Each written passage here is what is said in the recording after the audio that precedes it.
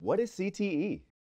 Career and Technical Education, or CTE, is the practice of teaching hands-on career skills that give middle and high school students the experience needed to enter the workforce.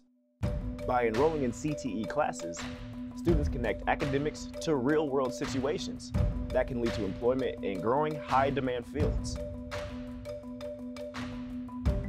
Students are given opportunities to learn through meaningful hands-on labs and work-based learning on real and simulated job sites. Students learn skills that are applicable in both career and college.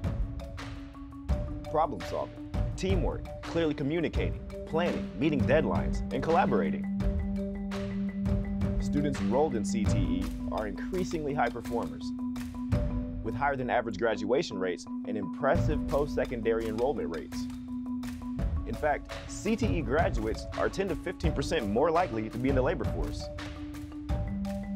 and earn 8 to 9% more than graduates of academic programs.